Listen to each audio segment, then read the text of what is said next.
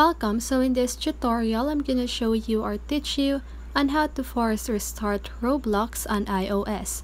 So if you want to know how I did it, just keep on watching.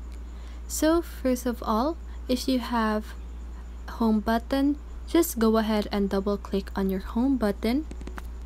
Then just go ahead and swipe up the Roblox, okay?